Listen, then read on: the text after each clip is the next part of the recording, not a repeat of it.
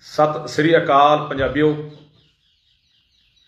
ਸੋ, ਅੱਜ ਆਪਾਂ ਗੱਲਬਾਤ ਕਰਨੀ ਆ ਪ੍ਰਕਾਸ਼ ਸਿੰਘ ਬਾਦਲ, ਉਹਨਾਂ ਦਾ ਕੱਲ ਭੋਗ ਪਿਆ, ਅੰਤਮ ਅਰਦਾਸ ਹੋਈ ਆ। ਤੇ ਬੜੇ ਕਿੱਸੇ ਬੜੀਆਂ ਕਹਾਣੀਆਂ ਵੱਖ-ਵੱਖ ਲੀਡਰਾਂ ਨੇ, ਵੱਖ-ਵੱਖ ਸਿਆਸਤਦਾਨਾਂ ਨੇ, ਖਿਡਾਰੀਆਂ ਨੇ ਬੜੀਆਂ ਕਹਾਣੀਆਂ ਬੜੇ ਕਿੱਸੇ ਸੁਣਾਏ ਐ। ਕੋਈ ਕਹਿੰਦਾ ਜੀ ਬਾਦਲ ਸਾਹਿਬ ਸਾਡੇ ਵਿਆਹ ਤੇ ਪਹੁੰਚ ਗਏ ਜੀ ਸਾਨੂੰ, ਸਾਡੇ ਨਾਲ ਰੋਸੇ ਗਲੇ ਹੋਣ ਦੇ ਬਾਵਜੂਦ ਕੋਈ ਕਹਿੰਦੇ ਬਾਦਲ ਸਾਹਿਬ ਮੇਰੀ ਬਾਹ ਫੜ ਲੈਂਦੇ ਸੀ, ਕੋਈ ਕਹਿੰਦੇ ਬਾਦਲ ਸਾਹਿਬ ਸਾਨੂੰ ਬੜਾ ਪਿਆਰ ਕਰਦੇ ਸੀ, ਬੜੀ ਲਿਆਕਤ ਸੀ। ਸੋ ਤਰ੍ਹਾਂ ਤਰ੍ਹਾਂ ਦੀਆਂ ਗੱਲਾਂ ਸਾਹਮਣੇ ਆਈਆਂ, ਪਰ ਸੁਖਬੀਰ ਸਿੰਘ ਬਾਦਲ ਦਾ ਇੱਕ ਕੱਲ ਬਿਆਨ ਆਉਂਦਾ, ਭੋਗ ਦੇ ਉੱਤੇ ਕਿ ਜਾਣੇ ਅਣਜਾਣੇ ਦੇ ਵਿੱਚ ਜੇ ਸਾਡੇ ਕੋਲੋਂ, ਸਾਡੇ ਪਰਿਵਾਰ ਕੋਲੋਂ ਗਲਤੀਆਂ ਹੋ ਗਈਆਂ ਤਾਂ ਸਾਨੂੰ ਮਾਫ ਕਰ ਦਿੱਤਾ ਜਾਵੇ। ਸੋ ਦੇਖੋ, ਇੱਕ ਤਾਂ ਹੁੰਦੀਆਂ ਜਾਣੇ ਅਣਜਾਣੇ ਚ ਹੋਈਆਂ ਗਲਤੀਆਂ।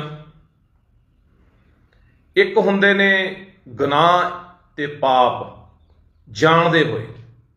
ਜਦੋਂ ਆਪਾਂ ਸਾਰਾ ਕੁਝ ਜਾਣਦੇ ਹੁੰਨੇ ਆ, ਆਪਾਂ ਨੂੰ ਪਤਾ ਹੁੰਦਾ ਕਿ ਜਿਹੜਾ ਅਸੀਂ ਕੰਮ ਕਰ ਰਹੇ ਆ ਇਹਦਾ ਨੁਕਸਾਨ ਸਾਡੀਆਂ ਨਸਲਾਂ ਨੂੰ, ਸਾਡੀ ਕੌਮ ਨੂੰ, ਸਾਡੇ ਲੋਕਾਂ ਨੂੰ ਕੀ ਹੋਣਾ ਹੈ? ਉਹ ਬਹੁਤ ਵੱਡਾ ਗੁਨਾਹ ਹੁੰਦਾ ਹੈ। ਉਹ ਬਹੁਤ ਵੱਡੇ ਪਾਪ ਹੁੰਦੇ ਆ। ਗਲਤੀਆਂ ਦੀ ਮਾਫੀ ਹੁੰਦੀ ਆ, ਗੁਨਾਹਾਂ ਦੀ ਮਾਫੀ ਨਹੀਂ ਹੁੰਦੀ। ਜਿਹੜਾ ਬੰਦਾ ਜਾਣ ਬੁੱਝ ਕੇ। ਸੋ ਹੁਣ ਬਹੁਤੇ ਇੱਥੇ ਕਿੰਤੂ ਪਰੰਤੂ ਬੜਾ ਕਰਨਗੇ ਕਿ ਬਾਦਲ ਸਾਹਿਬ ਤਾਂ ਚਲੇ ਗਏ। ਬਾਦਲ ਸਾਹਿਬ ਦੇ ਜਾਣ ਤੋਂ ਬਾਅਦ, ਉਹਨਾਂ ਦੀ ਮੌਤ ਤੋਂ ਬਾਅਦ ਕੀ ਕਿੰਤੂ ਪਰੰਤੂ ਕਰਨਾ, ਮਰੇ ਹੋਏ ਬੰਦੇ ਨਾਲ ਸਾਰੇ ਰੋਸੇ ਝਗੜੇ ਮੁੱਕ ਜਾਂਦੇ ਨੇ। ਪਹਿਲੀ ਗੱਲ ਤਾਂ ਮੈਂ ਇਹ ਦੱਸ ਦਿੰਨਾ ਜਿੰਨੇ ਵੀ ਸੱਜਣ ਇਸ ਗੱਲਬਾਤ ਨੂੰ ਸੁਣਨਗੇ, ਕਿ ਨਾ ਤਾਂ ਬਾਦਲ ਸਾਹਿਬ ਦੇ ਨਾਲ ਮੇਰਾ ਕੋਈ ਨਿੱਜੀ ਵੈਰ ਵਿਰੋਧ ਹੈ, ਨਾ ਬਾਦਲ ਸਾਹਿਬ ਨੇ ਮੇਰਾ ਕੋਈ ਨੁਕਸਾਨ ਕੀਤਾ ਵੀ ਮੇਰਾ ਉਹਨੇ ਕੋਈ ਘਰੇਲੂ ਨੁਕਸਾਨ ਕੀਤਾ ਹੋਵੇ, ਕੋਈ ਮੇਰੀ ਵੱਟ ਵਾ ਗਿਆ ਹੋਵੇ ਜਾਂ ਮੇਰਾ ਕੋਈ ਡਾਂਗ ਮਾਰੀ ਹੋਵੇ ਬਾਦਲ ਸਾਹਿਬ ਨੇ ਮੇਰਾ ਤਾਂ ਉਹਨਾਂ ਨਿੱਜੀ ਵਿਰੋਧ ਹੈ। ਮੇਰਾ ਵਿਰੋਧ ਬਾਦਲ ਨਾਲ ਨਿੱਜੀ ਕੋਈ ਨਹੀਂ ਆ। ਮੇਰਾ ਵਿਰੋਧ ਇਸ ਗੱਲ ਨਾਲ ਹੈ ਕਿ ਜਦੋਂ ਇੱਕ ਬੰਦਾ ਜਾਂਦਾ ਆਦੀ 50 ਸਾਲ ਦੀ ਸਿਆਸਤ ਕਰਕੇ ਪੰਜਾਬ ਦੇ ਵਿੱਚੋਂ, ਜਿਹਦਾ 19 ਸਾਲ 18 ਸਾਲ ਦਾ ਮੁੱਖ ਮੰਤਰੀ ਦਾ ਕੈਰੀਅਰ ਆ ਉਸ ਦੇ ਜਾਣ ਤੋਂ ਬਾਅਦ ਪੰਜਾਬ ਨੂੰ, ਕੌਮ ਨੂੰ, ਪੰਥ ਨੂੰ ਕੀ ਫਾਇਦਾ ਹੋਇਆ, ਕੀ ਨੁਕਸਾਨ ਹੋਇਆ ਇਹਦਾ ਲੇਖਾ ਜੋਖਾ ਹੋਣਾ ਬਣਦਾ ਹੈ। ਕਿਉਂਕਿ ਇਤਿਹਾਸ ਲਿਖੇ ਜਾਂਦੇ ਨੇ ਬੰਦਿਆਂ ਦੇ। ਤਾਂ ਮੈਂ ਸਰਦਾਰ ਸੁਖਬੀਰ ਸਿੰਘ ਬਾਦਲ ਨੂੰ ਇੱਕੋ ਹੀ ਗੱਲ ਪੁੱਛਣਾ ਚਾਹੁੰਦਾ ਕਿ ਬਾਦਲ ਸਾਹਿਬ ਤੁਹਾਡੇ ਪਿਤਾ ਜੀ ਚਲੇ ਗਏ ਨੇ, ਦੁਨੀਆ ਤੋਂ ਰੁਖਸਤ ਹੋ ਗਏ ਆ। ਤੁਸੀਂ ਉਹਨਾਂ ਦੀ ਗੱਲ ਕੀਤੀ ਕਿ ਜੇ ਸਾਡੇ ਕੋਲੋਂ ਜਾਣੇ ਅਣਜਾਣੇ ਦੇ ਵਿੱਚ ਗਲਤੀ ਹੋ ਗਈ ਤਾਂ ਸਾਨੂੰ ਮਾਫ ਕਰ ਦਿੱਤਾ ਜਾਵੇ। ਸੋ ਆਪਾਂ ਗੱਲ ਕਰਦੇ ਹਾਂ ਹੁਣ, ਬੜੇ ਲੋਕਾਂ ਨੇ ਕਸੀਦੇ ਪੜ੍ਹੇ, ਬੜੀ ਮਹਿਮਾ ਕੀਤੀ। ਮੈਂ ਇੱਕ ਅਖਬਾਰ ਪੜ੍ਹ ਰਿਹਾ ਸੀ ਕੱਲ ਦਾ, ਉਹਦੇ 'ਚ ਲਿਖਿਆ ਪਿਆ ਕਿ ਸਦੀ ਦਾ ਮਹਾਨ ਨੇਤਾ ਚਲਿਆ ਗਿਆ। ਸੋ ਕਮਾਲ ਹੋਈ ਪਈ ਆ ਸਾਡੇ ਲੋਕਾਂ ਦੀ ਯਾਰ। ਅਸੀਂ ਸਾਰਾ ਕੁਝ ਹੀ ਵਿਸਾਰ ਦਿੰਨੇ ਆ, ਭੁੱਲ ਜਾਂਦੇ ਆ। ਜੋ ਮਰਜ਼ੀ ਕਰੋ ਇੱਥੇ ਜਿਉਂਦੇ ਜੀ, ਪੰਜਾਬ ਨਾਲ, ਲੋਕਾਂ ਨਾਲ, ਧਰਤੀ ਨਾਲ, ਕੌਮ ਨਾਲ, ਪੰਥ ਨਾਲ, ਮਰਨ ਤੋਂ ਬਾਅਦ ਸਾਰੇ ਗੁਨਾਹ ਮਾਫ ਹੋ ਜਾਂਦੇ ਆ। ਸੋ ਮੈਂ ਗੱਲ ਕਰਨ ਲੱਗਿਆ ਸਭ ਤੋਂ ਪਹਿਲਾਂ ਬਾਲ ਸਾਹਿਬ ਬਾਰੇ ਕਿ ਸਭ ਤੋਂ ਸੁਖਬੀਰ ਸਿੰਘ ਬਾਦਲ ਜੀ, ਮੈਂ ਤੁਹਾਨੂੰ ਪੁੱਛਣਾ ਚਾਹੁੰਦਾ ਕਿ ਇਹਨਾਂ ਗੁਨਾਹਾਂ ਦੀ ਮਾਫੀ ਤਾਂ ਵੈਸੇ ਕੌਮ ਨੇ ਦੇਣੀਆਂ, ਪੰਥ ਨੇ ਦੇਣੀਆਂ, ਪੰਜਾਬ ਨੇ ਦੇਣੀਆਂ, ਨਾ ਅਸੀਂ ਮਾਫੀ ਦੇਣ ਵਾਲੇ ਆ ਨਾ ਅਸੀਂ ਤਾਂ ਤੁਹਾਡੀ ਜਿਹੜੀ ਗੱਲ ਬਾਦਲ ਸਾਹਿਬ ਦੀ ਹੈਗੀ ਆ, ਉਹਨਾਂ ਨੂੰ ਤੱਥਾਂ ਦੇ ਹਿਸਾਬ ਦੇ ਨਾਲ ਰੱਖ ਰਹੇ ਆ ਕਿ ਜੋ ਜੋ ਗੁਨਾਹ ਬਾਦਲ ਸਾਹਿਬ ਨੇ ਇੱਥੇ ਕੀਤੇ ਆ, ਉਹਨਾਂ ਬਾਰੇ ਜ਼ਿਕਰ ਕਰਾਂਗੇ। ਪਹਿਲਾ ਬਾਦਲ ਸਾਹਿਬ ਦਾ ਗੁਨਾਹ ਕਿ ਪਹਿਲਾ ਜਦੋਂ ਇਹ 1969 70 ਦੇ ਵਿੱਚ ਮੁੱਖ ਮੰਤਰੀ ਬਣਦੇ ਆ, ਤਾਂ ਨਕਸਲਵਾੜੀ ਜਿਹੜੀ ਲਹਿਰ ਸੀ ਪੰਜਾਬ ਦੇ ਵਿੱਚ ਪਹਿਲੇ ਝੂਠੇ ਮੁਕਾਬਲੇ ਨਕਸਲਵਾੜੀ ਲਹਿਰ ਦੇ ਵਿੱਚ ਸ਼ੁਰੂ ਹੁੰਦੇ ਆ। ਨਕਸਲਵਾੜੀ ਲਹਿਰ ਦੇ ਵਿੱਚ ਜਿਹੜੇ ਸਾਡੇ ਨੌਜਵਾਨ ਮਾਰੇ ਜਾਂਦੇ ਆ, ਉਹਨਾਂ ਦੇ ਝੂਠੇ ਮੁਕਾਬਲੇ, ਪੁਲਿਸ ਮੁਕਾਬਲੇ ਬਣਦੇ ਆ। ਉਦੋਂ ਵੀ ਬਾਦਲ ਸਾਹਿਬ ਪੰਜਾਬ ਦੇ ਮੁੱਖ ਮੰਤਰੀ ਹੁੰਦੇ ਆ। ਉਸ ਤੋਂ ਬਾਅਦ ਨਿਰੰਕਾਰੀ ਕਾਂਡ ਵਾਪਰਦਾ। 13 ਸਿੰਘ ਸ਼ਹੀਦ ਹੁੰਦੇ ਨੇ 1978 ਦੇ ਵਿੱਚ, ਉਦੋਂ ਵੀ ਬਾਦਲ ਸਾਹਿਬ ਮੁੱਖ ਮੰਤਰੀ ਹੁੰਦੇ ਆ। ਜਦੋਂ ਬਾਦਲ ਸਾਹਿਬ ਉਮਰਾ ਨੰਗਲ ਉਹਨਾਂ ਨੂੰ ਆਪਣੀ ਨਾਲ ਲੈ ਕੇ ਜਾਂਦਾ ਬਾਲ ਸਾਹਿਬ ਦੀ ਗੱਡੀ 'ਚ ਕੱਢ ਕੇ ਲਿਜਾਇਆ, ਲਿਜਾਂਦਾ ਨਿਰੰਕਾਰੀ ਨੂੰ। ਉਹਨਾਂ ਦਾ ਕੇਸ ਇੱਥੋਂ ਤਬਦੀਲ ਕਰਾ ਕੇ ਹੋਰ ਸਟੇਟ ਲੈ, ਲਿਜਾਇਆ ਜਾਂਦਾ ਤੇ ਉੱਥੇ ਨਿਰੰਕਾਰੀ ਨੂੰ ਬਰੀ ਕਰਾ ਦਿੱਤਾ ਜਾਂਦਾ। ਇਹ ਵੀ ਬਾਲ ਸਾਹਿਬ ਦੀ ਮਿਹਰਬਾਨੀ ਸੀ। ਅੱਗੇ ਆਪਾਂ ਚੱਲਦੇ ਹਾਂ। ਅੱਗੇ ਆ ਜਾਂਦਾ, ਉਸ ਤੋਂ ਬਾਅਦ ਜਦੋਂ 96 ਦੇ ਵਿੱਚ ਪੰਥਕ ਪਾਰਟੀ ਤੋਂ ਪੰਜਾਬੀ ਪਾਰਟੀ ਬਣਨ ਦਾ ਐਲਾਨ ਹੁੰਦਾ ਹੈ, ਮੋਗੇ ਵੱਡੀ ਕਾਨਫਰੰਸ ਹੁੰਦੀ ਹੈ ਉਹਦੇ ਬਾਅਦ ਤੁਸੀਂ ਦੇਖੋ ਕਿ ਜਦੋਂ ਸਾਰੇ ਲੋਕ ਬਾਲ ਸਾਹਿਬ ਕੋਲ ਜਾਂਦੇ ਆ, ਬੀਬੀ ਖਾਲੜਾ ਵੀ ਜਾਂਦੀ ਆ, ਕਿ ਜੀ ਜਿਹੜਾ ਘਾਣ ਹੋਇਆ, ਜਿੰਨੇ ਨੌਜਵਾਨ ਮੁੰਡੇ ਮਾਰੇ ਗਏ, ਜਿੰਨੀਆਂ ਇੱਜ਼ਤਾਂ ਲੁੱਟੀਆਂ ਗਈਆਂ ਥਾਣਿਆਂ 'ਚ, ਜਿੰਨਾ ਕੋ ਕੋ ਕੇ ਜਵਾਨੀ ਦਾ ਘਾਣ ਕੀਤਾ, ਜਵਾਕ ਤੱਕ ਮਾਰ ਦਿੱਤੇ ਗਏ, ਉਹ ਸਾਰੇ ਬੰਦੇ ਕਟਹਿਰੇ 'ਚ ਖੜੇ ਹੋਣੇ ਚਾਹੀਦੇ ਆ। ਤਾਂ ਬਾਦਲ ਸਾਹਿਬ ਸਾਰਿਆਂ ਨੂੰ ਇਹ ਕਹਿੰਦਾ ਭਾਈ ਠੀਕ ਆ, ਉਹ ਬੰਦੇ ਸਾਰੇ ਖੜੇ ਹੋਣਗੇ, ਲਿਆਵਾਂਗੇ ਖਿੱਚ ਕੇ ਜੇਲਾਂ ਸਿੱਟਾਂਗੇ ਜਾ ਕੇ। 97 ਦੇ ਵਿੱਚ ਸਰਕਾਰ ਬਣ ਜਾਂਦੀ ਹੈ 97 ਦੇ ਵਿੱਚ ਸਰਕਾਰ ਬਣਦੀ ਹੈ ਬਾਦਲ ਸਾਹਿਬ ਦੀ ਤੇ ਬੀਬੀ ਖਾਲੜਾ ਜਾਂਦੀ ਆ। ਬਾਦਲ ਸਾਹਿਬ ਕੋਲ ਕੇ ਬਾਦਲ ਸਾਹਿਬ, ਜਸਵੰਤ ਸਿੰਘ ਖਾਲੜਾ ਜੀ ਨੇ 25000 ਜਿਹੜੀਆਂ ਲਾਵਾਰਸ ਲਾਸ਼ਾਂ, ਉਹਨਾਂ ਦਾ ਕੋਈ ਹਿਸਾਬ ਕਿਤਾਬ ਨਹੀਂ। 25000 ਨੌਜਵਾਨ, ਪਤਾ ਨਹੀਂ ਉਹ ਲਾਵਾਰਸ ਕਹਿ ਕੇ ਖਪਾ ਦਿੱਤੇ ਗਏ ਨਹਿਰਾਂ 'ਚ, ਡਰੇਨਾਂ 'ਚ। ਮਾਰ ਦਿੱਤੇ ਗਏ। ਉਹਨਾਂ ਦਾ, ਜਿਹੜੇ ਉਹਨਾਂ ਦੇ ਦੋਸ਼ੀ ਬੰਦੇ ਨੇ, ਉਹ ਕਟਹਿਰੇ 'ਚ ਖੜੇ ਕਰੋ। ਹੁਣ ਤੁਹਾਡੀ ਸਰਕਾਰ ਆ ਗਈ। ਤਾਂ ਬਾਲ ਸਾਹਿਬ ਦਾ ਪਹਿਲਾ ਹੀ ਬਿਆਨ ਹੁੰਦਾ ਬੀਬੀ ਖਰੜਾ ਜੀ ਨੂੰ। ਉਹ ਜਾਉਂਦੇ ਬੈਠੇ ਨੇ, ਪੁੱਛ ਲਓ ਜਾ ਕੇ ਕਦੇ। ਕਿ ਬੀਬਾ, ਹੁਣ ਆਪਾਂ ਅੱਗੇ ਵਧੀਏ। ਪਿਛਲੀਆਂ ਗੱਲਾਂ ਤੇ ਮਿੱਟੀ ਪਾਈਏ। ਹੁਣ ਪਿਛਲੀਆਂ ਗੱਲਾਂ ਫੁੱਲਣ ਦਾ ਕੋਈ ਫਾਇਦਾ ਨਹੀਂ। ਜਦੋਂ ਕਿ ਜਸਵੰਤ ਸਿੰਘ ਖਰੜਾ ਸ਼੍ਰੋਮਣੀ ਅਕਾਲੀ ਦਲ ਦੇ ਮਨੁੱਖੀ ਅਧਿਕਾਰ ਕਮਿਸ਼ਨ ਦੇ ਮੁਖੀ ਹੁੰਦੇ ਆ। ਉਹਨਾਂ ਦੀ ਮੌਤ ਵੀ ਤੁਹਾਨੂੰ ਪਤਾ ਕਿਵੇਂ ਹੁੰਦੀ ਹੈ, ਕਿਵੇਂ ਉਹਨਾਂ ਨੂੰ ਪਾੜਿਆ ਜਾਂਦਾ। ਟਾਲੀ ਨਾਲ ਜਾਂ ਦਰਖਤ ਨਾਲ ਉਹਨਾਂ ਦੀ ਲੱਤ ਨੂੰ ਲਾਸ ਬੰਨ ਕੇ, ਰੱਸਾ ਬੰਨ ਕੇ ਦੂਜੇ ਪਾਸੇ ਜੀਪ ਨਾਲ ਬੰਨ ਕੇ ਤੇ ਬਚਿਆ ਜਿਉਂਦੇ ਨੂੰ ਪਾੜ ਕੇ ਮਾਰਿਆ ਜਾਂਦਾ। ਇਹ ਸੰਸ ਖਰੜੇ ਦੀ ਕਹਾਣੀ ਆ। ਇਹ ਸਾਰੇ ਜਾਣਦੇ ਹੋਣੇ ਆ। ਚਲੋ, ਉਹ ਕਹਿੰਦਾ, ਬੀਬਾ, ਇਹ ਗੱਲਾਂ ਭੁੱਲ ਜਾਓ। ਹੁਣ ਅੱਗੇ ਵਧੀਏ, ਤੁਸੀਂ ਦੱਸੋ ਤੁਹਾਨੂੰ ਕਿੱਥੇ ਐਡਜਸਟ ਕਰ ਦਈਏ। ਤਾਂ ਬੀਬੀ ਖਾਲੜਾ ਨਿਰਾਸ਼ ਹੋ ਕੇ ਵਾਪਸ ਆ ਜਾਂਦੇ ਆ। 98 ਦੇ ਵਿੱਚ ਇੱਕ ਕਮਿਸ਼ਨ ਬਣਦਾ ਹੈ, justice Kuldeep Singh. Commission, people's commission ਇੱਕ ਬਣਦਾ ਹੈ। ਤਿੰਨ ਜੱਜਾਂ ਦੀ ਇੱਕ ਕਮੇਟੀ ਬਣਦੀ ਹੈ ਕਿ ਸਾਰੇ ਭਾਈ ਆਪਣਾ ਲਿਖਾਓ ਆ ਕੇ ਜਿਨ੍ਹਾਂ ਨਾਲ ਜ਼ੁਲਮ ਹੋਇਆ ਲਾ ਕੇ 78 ਤੋਂ ਲੈ ਕੇ 94 95 ਤੱਕ ਜੋ ਜ਼ੁਲਮ ਹੋਏ ਆ ਜੋ ਝੂਠੇ ਪੁਲਿਸ ਮੁਕਾਬਲੇ ਹੋਇਆ, ਜੋ ਕਤਲੇਆਮ ਹੋਇਆ ਪੰਜਾਬ ਦੇ ਵਿੱਚ, ਉਹਨਾਂ ਦਾ ਆਪਾਂ ਲੇਖਾ ਜੋਖਾ ਕਰਨਾ ਹੈ। ਉਹ ਸਾਰੇ ਬੰਦੇ ਜਿੰਨੇ ਪੀੜਤ ਲੋਕ ਨੇ, ਉਹ ਆਪਣਾ ਸਾਰਾ ਲੇਖਾ ਜੋਖਾ ਕੇ ਕਮਿਸ਼ਨ ਕੋਲੇ ਲਿਖਾਓ। ਉਹਦੀਆਂ ਤਿੰਨ ਬੈਠਕਾਂ, ਤਿੰਨ ਮੀਟਿੰਗਾਂ ਜਿਹੜੀਆਂ 34 ਸੈਕਟਰ ਦੇ ਗੁਰਦੁਆਰੇ ਹੁੰਦੀਆਂ ਨੇ। ਉਹਦੇ ਖਿਲਾਫ ਬਾਦਲ ਸਾਹਿਬ ਚਲੇ ਜਾਂਦੇ ਆ ਹਾਈ ਕੋਰਟ। ਇਹਨਾਂ ਦਾ ਇਹ ਜੀ ਹੁੰਦਾ ਜਿਹੜਾ ਐਡਵੋਕੇਟ ਜਨਰਲ ਹੁੰਦਾ ਗੁਰਦਰਸ਼ਨ ਸਿੰਘ ਢਿੱਲੋਂ। ਉਹ ਜਾ ਕੇ ਹਾਈ ਕੋਰਟ, ਇਹ ਕਹਿੰਦਾ ਕਿ ਦੇਖੋ ਜੀ, ਇਸ ਗੱਲ ਦੇ ਨਾਲ ਮਨੋਬਲ ਟੁੱਟ ਜਾਣਾ ਜੀ ਪੰਜਾਬ ਪੁਲਿਸ ਦਾ ਤੇ ਮਾਹੌਲ ਖਰਾਬ ਹੋ ਜਾਣਾ ਸੋ ਆਪਾਂ ਇਸ ਕਮਿਸ਼ਨ ਨੂੰ ਭੰਗ ਕਰ ਦਗੇ ਤਾਂ ਹਾਈ ਕੋਰਟ ਦੇ ਵਿੱਚੋਂ ਉਹ ਕਮਿਸ਼ਨ ਆ ਜਿਹੜਾ ਭੰਗ ਹੋ ਜਾਂਦਾ। ਸੋ ਅੱਗੇ ਚੱਲਦੇ ਆ ਫਿਰ। ਉਦੋਂ ਬਾਅਦ ਆਉਂਦਾ ਡੀਜੀਪੀ ਸੈਣੀ।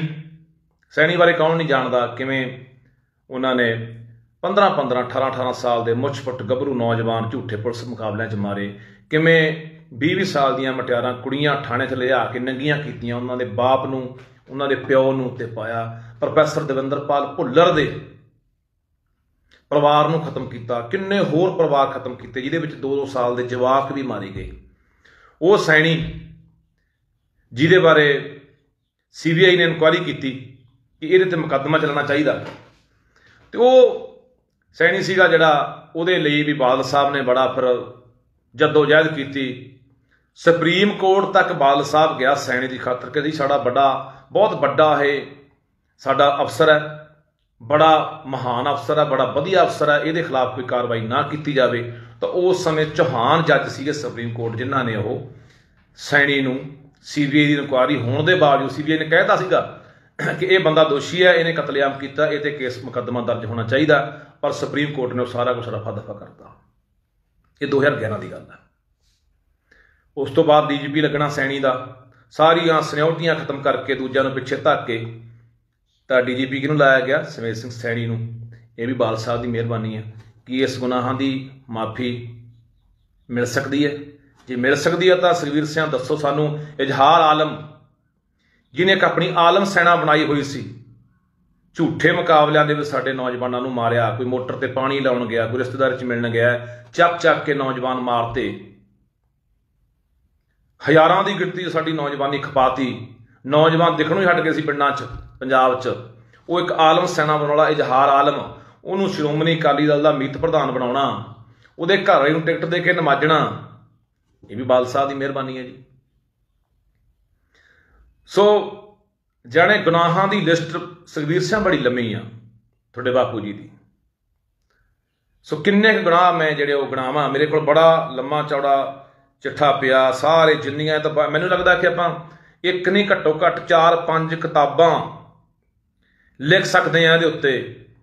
ਭਗਤ ਸਿੰਘ ਦੇ ਭਾਣਜੇ ਨੂੰ ਖਪਾਉਣ ਵਾਲਾ, ਕੁਲਜੀਤ ਸਿੰਘ ਢੱਟ ਨੂੰ ਖਪਾਉਣ ਵਾਲਾ ਐਸਪੀ ਬਸਰਾ, ਉਹਨੂੰ ਬਹਾਲ ਕਿਹਨੇ ਕੀਤਾ?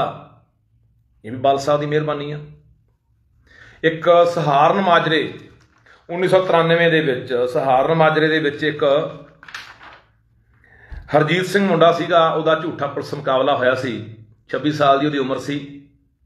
ਉਹਦੇ ਵਿੱਚ ਚਾਰ ਬੰਦੇ ਉਮਰ ਕੈਦ ਹੋਈ ਸੀ, ਇੱਕ ਇੰਸਪੈਕਟਰ ਹਰਿੰਦਰ ਸਿੰਘ, ਇਹ ਪੰਜਾਬ ਪੁਲਿਸ ਦਾ ਸੀਗਾ, ਇੱਕ ਐਸਪੀ ਰਜੀਵ ਕੁਮਾਰ ਯੂਪੀ ਦਾ, ਇੱਕ ਇੰਸਪੈਕਟਰ ਬ੍ਰਿਜਲਾਲ ਬਰਮਾ ਇੱਕ ਸਿਪਾਹੀ ਸੀ ਓਂਕਾਰ ਸਿੰਘ। ਇਹ 2014 ਦੇ ਵਿੱਚ ਜਿਹੜਾ ਅ, 93 ਵਿੱਚ ਮੁਕਾਬਲਾ ਹੋਇਆ ਸੀਗਾ ਝੂਠਾ ਪੁਲਿਸ ਮੁਕਾਬਲਾ ਹਰਜੀਤ ਸਿੰਘ ਸਹਾਰਨ ਮਾਜਰੇ ਦਾ। ਉਹਦੇ ਵਿੱਚ ਚਾਰ ਬੰਦੇ ਅਦਾਲਤ ਨੇ ਉਮਰ ਕੈਦ ਬਾਮਸ਼ਕਤ ਸੁਣਾਤੀ ਸੀ। ਇਹ ਚਾਰੇ ਬੰਦਿਆਂ ਨੂੰ ਜਨਾਬ 14 ਸਜ਼ਾ ਹੋਈ 17 ਦੇ ਵਿੱਚ ਬਾਦਲ ਸਾਹਿਬ ਨੇ ਦਸਖਤ ਕਰਤੇ ਸੀਗੇ ਇਹਨਾਂ ਦੀ ਸਜ਼ਾ ਮਾਫੀ ਦੇ ਜੇਲ੍ਹ ਚੋਂ ਬਾਹਰ ਲੈ ਕੇ ਆਉਣ ਦੇ। ਤੇ ਜਿਹੜੇ ਜੂਨ 2019 ਦੇ ਵਿੱਚ ਜਾ ਕੇ ਕੈਪਟਨ ਨੇ ਉਦੋਂ ਬਾਅਦ ਇਹ ਜਾ ਕੇ ਛੱਡੇ ਐ। ਜਾਂਦਾ ਜਾਂਦਾ ਬਾਦਲ ਦੀ ਸਰਕਾਰ ਗਈ ਆ 17 ਚ। ਜਾਂਦਾ ਜਾਂਦਾ ਬਾਦਲ ਸਾਹਿਬ ਰეკਮੈਂਡ ਕਰ ਗਿਆ ਸੀ ਚਾਰਾਂ ਦੀ ਰਿਹਾਈ, ਇਹਨਾਂ ਦੀ ਪੱਕੀ ਕਰ ਗਿਆ ਸੀਗਾ ਕਿ ਚਾਰੇ ਬੰਦੇ ਚਾਰੇ ਪੁਲਿਸ ਵਾਲੇ ਛੱਡ ਦੇਣੇ ਚਾਹੀਦੇ ਆ। ਜਿਹੜੇ ਅਦਾਲਤਾਂ ਨੇ ਵੀ ਦੋਸ਼ੀ ਠਹਿਰਾਤੇ ਸੀਗੇ, ਉਮਰ ਕੈਦਾਂ ਕਰਤੀਆਂ ਸੀ, ਉਹਨਾਂ ਨੂੰ ਬਾਹਰ ਲਿਆ ਕੇ ਬਹਾਲ ਕਰਕੇ ਨੌਕਰੀਆਂ ਦੇਣ ਦੇ ਉੱਤੇ, ਲਾਉਣ ਦੇ ਉੱਤੇ, ਇਹ ਵੀ ਬਾਦਲ ਸਾਹਿਬ ਦੀ ਮਿਹਰਬਾਨੀ ਰਹੀ ਹੈ ਪਰ ਸੁਖਬੀਰ ਸਿੰਘ ਉਹ ਜਿਵੇਂ ਮਨਪ੍ਰੀਤ ਬਾਦਲ ਜੀ ਨੇ ਬੋਲਿਆ ਕਿ ਰਾਮ ਲక్ష్మణ ਦੀ ਜੋੜੀ ਇਕੱਠੀ ਹੋ ਗਈ ਉੱਪਰ। ਇਹ ਗਨਾਹ ਤਾਂ ਵਾਲ ਸਾਹਿਬ ਦੇ ਮੈਨੂੰ ਲੱਗਦਾ ਕਿ ਉਸ ਪਰਵਰਦਗਾਰ ਨੇ ਉਸ ਦਰਗਾਹ ਜਿੱਥੇ ਗਿਆ, ਉਹਨੇ ਵੀ ਨਹੀਂ ਮਾਫ ਕਰਨੇ। ਕਿਵੇਂ ਬਾਦਲ ਸਾਹਿਬ ਨੇ ਆਪਣੀ ਜ਼ੁਬਾਨੀ ਦਾ ਖੂਨ ਚੂਸਿਆ। ਉਹ ਮੈਂ ਕਿਸੇ ਮਾਤਰ ਨਾਲ ਗੱਲ ਕਰ ਰਿਹਾ ਸੀ, ਉਹਨੇ ਬੜੀ ਸੋਹਣੀ ਗੱਲ ਸੁਣਾਈ। ਉਹ ਕਹਿੰਦਾ, ਮੈਂ ਕਿਹਾ ਵੀ ਬਾਦਲ ਤੇ ਕੈਪਟਨ 'ਚ ਕੀ ਫ਼ਰਕ ਆ? ਉਹ ਕਹਿੰਦਾ, ਬਾਦਲ ਕੈਪਟਨ ਤਾਂ ਫਨੀਅਰ ਸੱਪ ਆ, ਡੰਗ ਮਾਰ ਕੇ ਸਿੜ ਦਿੰਦਾ, ਮਾਰ ਦਿੰਦਾ। ਬਾਦਲ ਕਹਿੰਦਾ ਸਰਾਲ ਸੀ, ਸਰਾਲ ਸਰਾਲ ਆਪਾਂ ਸਾਰੇ ਜਾਣਦੇ ਨਾ। ਸਰਾਲ ਬੰਦੇ ਨੂੰ ਜਾਂ ਕਿਸੇ ਵੀ ਚੀਜ਼ ਨੂੰ ਘੁੱਟ ਕੇ ਮਾਰਦੀ ਹੈ। ਘੁੱਟ ਦਿੰਦੀ ਜਿਹੜਾ ਸਾਹ ਬੰਦ ਕਰ ਦਿੰਦੀ ਹੈ। ਕਹਿੰਦਾ ਬਾਦਲ ਉਹ ਚੀਜ਼ ਸੀ, ਘੁੱਟ ਕੇ ਮਾਰਦਾ ਸੀ। ਸਾਹ ਬੰਦ ਕਰਕੇ ਮਾਰਦਾ ਸੀ। ਕਿੰਨੇ ਖਪਾਏ ਕੁਲਦੀਪ ਸਿੰਘ ਬਡਾਲਾ ਟੌੜਾ, ਤਲਵੰਡੀ, ਕੈਪਟਨ ਕਮਲਜੀਤ। ਸਭ ਤੋਂ ਪਹਿਲਾਂ ਜਗਮੀਤ ਬਰਾੜ ਦਾ ਪਿਓ ਟਿਕਾਣੇ ਲਾਇਆ ਬਾਦਲ ਸਾਹਿਬ ਨੇ। ਦਰਬਾਰ ਸਾਹਿਬ ਤੇ ਹਮਲਾ ਕਰਾਉਣ ਲਈ ਚਿੱਠੀਆਂ ਕੌਣ ਲਿਖਦਾ ਰਿਹਾ? ਬਾਦਲ ਸਾਹਿਬ। ਸਰਸੇ ਵਾਲੇ ਸਾਧ ਨੂੰ ਮਾਫੀ ਬਾਲਸਾਹ ਦੀ ਮਿਹਰਬਾਨੀ।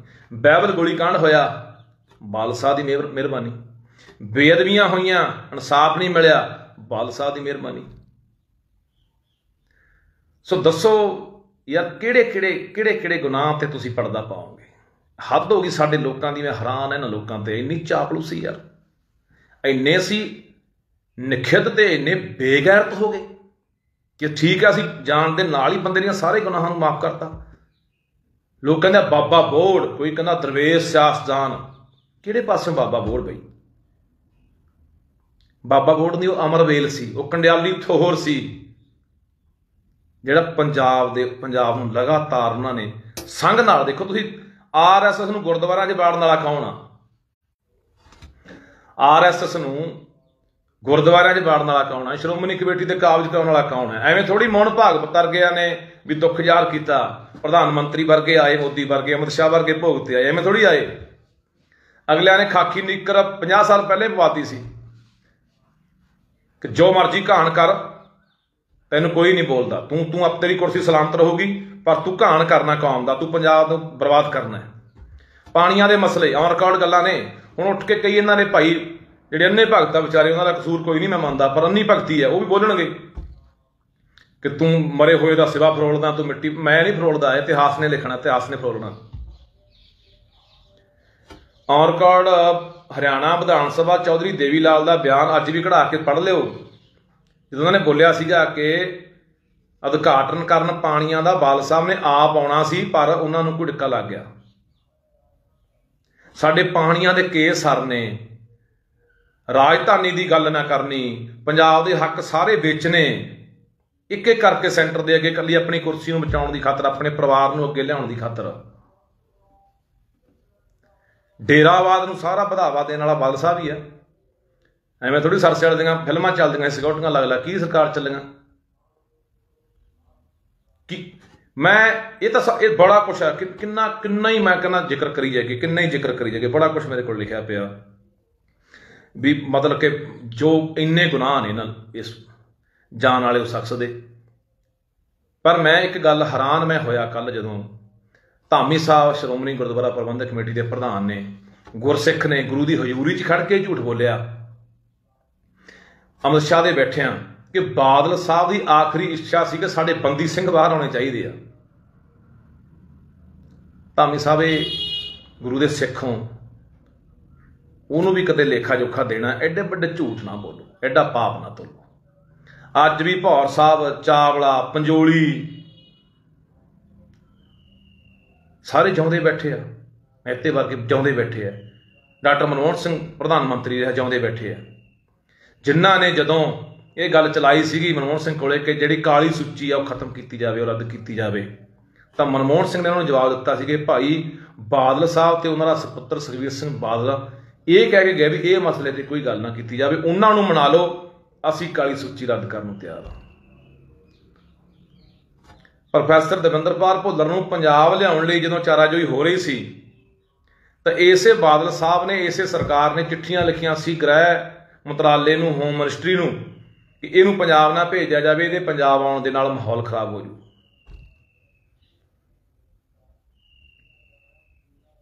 ਤੁਸੀਂ ਹੁਣ ਦੇਖੋ ਤੁਸੀਂ ਗੁਰੂ ਦੀ ਹਜ਼ੂਰੀ ਦੇ ਵਿੱਚ ਐਡਾ ਵੱਡਾ ਪਾਪ ਤੋਲ ਰਹੇ ਹੋ, ਝੂਠ ਬੋਲ ਰਹੇ ਹੋ ਕਿ ਬਾਲ ਸਾਹਿਬ ਦੀ ਇੱਛਾ ਸੀ। ਇਹ ਤਾਂ ਔਨ ਰਿਕਾਰਡ ਗੱਲਾਂ ਮੈਂ ਆਪਣੇ ਕੋਲ ਕੁਝ ਨਹੀਂ ਬੋਲ ਰਿਹਾ। ਇਹ ਤੱਥ ਨੇ, ਸਬੂਤ ਨੇ, ਚਿੱਠੀਆਂ ਨੇ, ਜਿਹੜੀਆਂ ਇਹਨਾਂ ਨੇ ਹੋਮ ਮਿਨਿਸਟਰੀ ਨੂੰ ਲਿਖੀਆਂ, ਗ੍ਰਹਿ ਮੰਤਰਾਲੇ ਨੂੰ ਲਿਖੀਆਂ, ਬੰਦੀ ਸਿੰਘਾਂ ਦੀ ਰਿਹਾਈ ਬਾਰੇ, ਕਾਲੀਆਂ ਸੂਚੀਆਂ ਖਤਮ ਕਰਨ ਬਾਰੇ। ਇਹ ਤਾਂ ਉਹ ਸਾਰਾ ਰਿਕਾਰਡ ਆ ਸੋ ਇਸ ਕਰਕੇ ਪੰਜਾਬ ਦੇ ਲੋਕੋ, ਜੇ ਤੁਹਾਨੂੰ ਲੱਗਦਾ, ਮੈਂ ਤੁਹਾਨੂੰ ਇੱਕੋ ਹੀ ਗੱਲ ਪੁੱਛਣਾ ਚਾਹੁੰਦਾ। ਜੇ ਤੁਹਾਨੂੰ ਲੱਗਦਾ ਕਿ ਜਾਣ ਨਾਲ ਬੰਦੇ ਦੇ ਗੁਨਾਹ ਮਾਫ ਕਰ ਦਿਓ ਜੀ, ਬੰਦਾ ਚਲਿਆ ਗਿਆ ਜੀ, ਆਪਾਂ ਛੱਡੋ ਜੋ ਹੋ ਗਿਆ। ਉਹ ਇਹ ਨਹੀਂ ਗੱਲ ਹੁੰਦੀ। ਇੱਕ ਬੰਦਾ ਜਾਂਦਾ, ਉਹ ਬੰਦਾ ਪੰਜ ਵਾਰੀ ਪੰਜਾਬ ਦਾ ਮੁੱਖ ਮੰਤਰੀ ਰਹਿੰਦਾ, ਉਹ ਨੁਕਸਾਨ ਜਿਹੜਾ ਸਾਡਾ ਬਾਲ ਸਾਹਿਬ 18 19 ਸਾਲ ਮੁੱਖ ਮੰਤਰੀ ਰਹਿ ਕੇ ਕਰ ਗਏ, ਜਿਹਦਾ ਖੱਪਾ, ਜਿਹਦਾ ਖਮਿਆਜਾ ਸਰ 100 ਸਾਲ ਨਹੀਂ ਪੂਰਿਆ ਜਾਣਾ। ਫੈਡਰਲ ਢਾਂਚੇ ਦੀ ਗੱਲ ਕਰਨੀ, ਰਾਜਾਂ ਦੇ ਹੱਕਾਂ ਦੀ ਗੱਲ ਕਰਨੀ ਇਹ ਸਭ ਤੋਂ ਅੱਗੇ ਨਾਰੇ ਲਾਉਣ ਚਾਹੁੰਦੇ ਸਾਰਿਆਂ ਤੋਂ ਵੱਧ ਹੱਕ ਇਹਨਾਂ ਨੇ ਵੇਚਿਆ ਪੰਜਾਬ ਦੇ। ਅਨੰਦਪੁਰ ਸਾਹਿਬ ਦੇ ਮਤੇ ਦੀ ਗੱਲ ਕਰਨੀ, ਜੋ ਰਾਜਾਂ ਦੇ ਹੱਕਾਂ ਦੀ ਅਧਿਕਾਰਾਂ ਦੀ ਗੱਲ ਕਰਦਾ, ਰਾਖੀ ਕਰਦਾ, ਭੁੱਲ ਭੁਲਾ ਕੇ ਸਭ ਕੁਝ ਗੱਲਾਂ। ਸਿਰਫ ਤੇ ਸਿਰਫ ਇਹਨਾਂ ਨੇ ਦੇਖਿਆ ਕਿ ਸਾਡੀ ਕੁਰਸੀ ਕਿਵੇਂ ਸਲਾਮਤ ਰਹਿਣੀ ਹੈ। ਢੱਠੇ ਖੂਹ ਜਾਵੇ ਪੰਜਾਬ, ਕੌਮ, ਪੰਥ। ਅੱਜ ਹੇਜ ਜਾ ਪਿਆ, ਫਿਰ ਬਾਦਲ ਦੇ ਲਾਣੇ ਨੂੰ, ਬਾਦਲ ਦੇ ਪਰਿਵਾਰ ਨੂੰ ਕਿ ਸਾਨੂੰ ਦੁਬਾਰਾ ਫਿਰ ਉਹੀ ਪੰਥਕ ਅਸੀਂ ਸਥਾਨ ਲੈ ਲਗੇ। ਤੁਸੀਂ ਪੰਥ ਦੀਆਂ ਜੜਾਂ 'ਚ ਤੇਲ ਅੱਗੇ ਥੋੜਾ ਪਾਇਆ। ਦੱਸੋ ਕਿੰਨੇ ਗੁਨਾਹਾਂ ਦੀ ਲਿਸਟ ਤੁਹਾਡੀ ਮੈਂ ਹੋਰ ਗਿਣਾਦਾ ਭਰਾਵੋ, ਜੇ ਤੁਹਾਨੂੰ ਇਹ ਲੱਗਦਾ ਹੈ ਵੀ ਬਾਦਲ ਸਾਹਿਬ ਦੇ ਜਾਣ ਨਾਲ ਹੁਣ ਸਾਰੀ ਗੱਲ ਰਫਾ ਦਫਾ ਕਰ ਦਿਓ, ਖਤਮ ਕਰ ਦਿਓ, ਜੋ ਉਹਨੇ ਗੁਨਾਹ ਕੀਤੇ ਉਹਨੂੰ ਖਤਮ ਕਰੋ, ਮਾਫ ਕਰੋ। ਫਿਰ ਤਾਂ ਫਿਰ ਨੂੰ ਵੀ ਮਾਫ ਕਰ ਦਿਓ। ਫਿਰ ਜਕਰੀਆ ਖਾਨ ਨੂੰ ਵੀ ਮਾਫ ਕਰੋ। ਮੱਸੇ ਰੰਗੜ ਨੂੰ ਵੀ ਮਾਫ ਕਰ ਦਿਓ। ਫਿਰ ਇੰਦਰਾ ਗਾਂਧੀ ਵੀ ਮਾਫ ਕਰ ਦਿਓ। ਉਹ ਵੀ ਤਾਂ ਮਰ ਗਏ। ਇੰਦਰਾ ਨੇ ਸਿੱਧਾ ਹਮਲਾ ਕੀਤਾ, ਦਰਬਾਰ ਸਾਹਿਬ ਢਾਹ ਤੇ ਤੁਹਾਡਾ ਕਤਲੇਆਮ ਕੀਤਾ, ਸਾਨੂੰ ਮਾਰਿਆ ਖੋ ਖੋ ਕੇ। ਇਹਨੇ ਜੜਾਂ 'ਚ ਤੇਲ ਪਾਇਆ, ਪਤਾ ਵੀ ਨਹੀਂ ਲੱਗਣ ਦਿੱਤਾ। ਹੁਣ ਬਥੇਰੇ ਉੱਥੇ ਲਿਖਣਗੇ, ਤੇਰਾ ਤੂੰ ਤੇਰੇ ਚ ਹੰਕਾਰ ਬੋਲਦਾ, ਤੇਰੀ ਕੋਈ ਤਰ੍ਹਾਂ ਨਿੱਜੀ ਸੀ, ਮੇਰੀ ਕੋਈ ਨਿੱਜੀ ਨਹੀਂ ਸੀ, ਜੋ ਘਾਣ ਕਰ ਗਿਆ, ਜੋ ਪੰਜਾਬ ਨੂੰ, ਕੌਮ ਨੂੰ, ਪੰਥ ਨੂੰ 100 ਸਾਲ ਪਿੱਛੇ ਸਿੱਟ ਗਿਆ, ਉਹ ਬਾਦਲ ਸੀ। ਜਿਹਨੂੰ ਤੁਸੀਂ ਬਾਬਾ ਬੋੜ, ਦਰਵੇਸ਼ ਸਿਆਸਦਾਨ, ਪਤਾ ਨਹੀਂ ਕੀ ਕੁਝ ਕਹਿ ਰਹੇ ਹੋ। ਅੱਜ ਹੁਣ ਜੇ ਕੋਈ ਬੋਲੋਗੇ ਨਾ ਇਸ ਗੱਲ ਦੇ ਉੱਤੇ ਤਾਂ ਮੇਰੀਆਂ ਗੱਲਾਂ ਦਾ ਤੱਥਾਂ ਨਾਲ ਜਵਾਬ ਦੇ ਦਿਓ, ਦਲੀਲ ਨਾਲ ਜਵਾਬ ਦੇ ਦਿਓ। ਫਿਰ ਕਿਉਂ ਅਸੀਂ ਜਾ ਕੇ ਅੱਜ ਮੁਸਲਾਂ ਆਪਣੇ ਮੁਗਲਾਂ ਦੀਆਂ ਮਜ਼ਾਰਾਂ ਕੁੱਟਦੇ ਆ, ਉਹਨਾਂ ਦੀਆਂ ਮੜੀਆਂ ਮਸੀਤਾਂ ਕੁੱਟਦੇ ਆ? ਕਿਉਂ ਛੱਤਰ ਮਾਰਦੇ ਉੱਥੇ ਜਾ ਕੇ? ਉਹਨਾਂ ਨੂੰ ਮਾਫ ਕਰ ਦੋ ਉਹ ਵੀ ਮਰ ਗਏ। ਮਰ ਗਏ ਤਾਂ ਕਹਾਣੀ ਖਤਮ। ਆ ਕਿਸੇ ਇਨਸਾਨ ਦੇ ਚਲੇ ਜਾਣ ਦੇ ਨਾਲ ਗਲਤੀਆਂ ਮਾਫ ਹੋ ਜਾਂਦੀਆਂ ਨੇ, ਗੁਨਾਹ ਮਾਫ ਨਹੀਂ ਹੁੰਦੇ। ਪਾਪ ਮਾਫ ਨਹੀਂ ਹੁੰਦੇ। ਇਹ ਗੁਨਾਹ ਸੀ, ਇਹ ਪਾਪ ਸੀ, ਜੋ ਬਾਦਲ ਨੇ ਕੀਤਾ। ਮੈਂ ਬੋਲਣਾ ਨਹੀਂ ਚਾਹੁੰਦਾ, ਪਰ ਬੋਲਣਾ ਮੈਨੂੰ ਕਿਉਂ ਪਿਆ? ਕਿਉਂਕਿ ਹੁਣ ਉਹਦੇ ਮਰਨ ਤੋਂ ਬਾਅਦ ਵੀ ਲਗਾਤਾਰ 8-10 ਦਿਨ ਸਿਆਸਤੀ ਹੋਈ ਹੈ। ਆ ਮੀਡੀਆ ਵਾਲੇ ਟੀਆਰਪੀ ਦੇ ਲੈਣ ਦੇ ਚੱਕਰ ਤੁਰੇ ਫਿਰਦੇ ਰਹੇ ਆ। ਉਹਦੇ ਜਿਹੜੇ ਪਾਸੂ ਨੇ, ਉਸ ਤਰੀਕੇ ਨਾਲ ਉਹਨੂੰ ਉਹਨੂੰ ਉਸ ਤਰ੍ਹਾਂ ਵੀ ਬੜਾ ਵੱਡਾ ਬੰਦਾ ਚਲਿਆ ਗਿਆ। ਹੈਰਾਨੀ ਮੈਨੂੰ ਇੱਕ ਬੜੇ ਚੰਗੇ ਅਖਬਾਰ ਤੇ ਹੋਈ, ਉਹਨੇ ਬਹੁਤ ਵੱਡਾ ਲੇਖ ਕੱਢ ਮਾਰਿਆ ਕਿ ਬਹੁਤ ਵੱਡਾ ਸਰੀ ਦਾ ਨੇਤਾ ਤੁਰ ਗਿਆ ਪੰਜਾਬ ਚੋਂ। ਅਸਲ ਐਵੇਂ ਨਹੀਂ ਅਮਿਤ ਸ਼ਾਹ ਵਰਗੇ ਭੋਗਾਂ ਤੇ ਆਏ, ਮੋਦੀ ਵਰਗੇ ਸੰਸਕਾਰਾਂ ਤੇ ਆਏ, ਐਵੇਂ ਨਹੀਂ ਨਾਗਪੁਰ ਤੋਂ ਸੋਖ ਸੰਦੇਸ਼ ਆਇਆ, ਸੁਨੇਹਾ ਆਇਆ, ਦੁੱਖ ਦਾ ਪ੍ਰਗਟਾਵਾ ਹੋਇਆ।